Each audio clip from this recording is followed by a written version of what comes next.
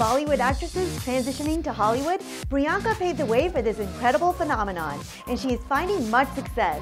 She recently also received a prestigious award for her work. Dramatic TV actress is Priyanka Chopra.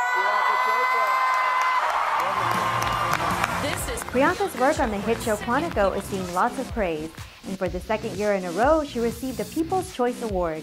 This time she received the award for Favorite Dramatic TV Actress and she beat out the ranks of Viola Davis, Kerry Washington, Ellen Pompeo, and Taraji P. Henson.